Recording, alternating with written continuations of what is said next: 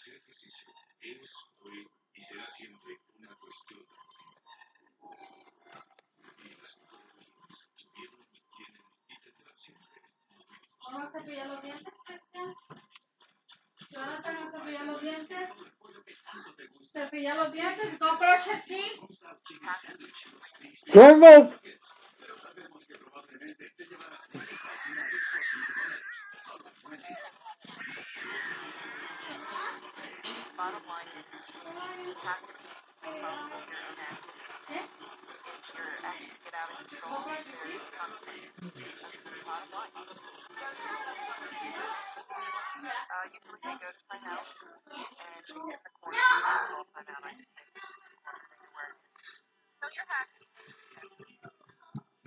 What happened was you're not.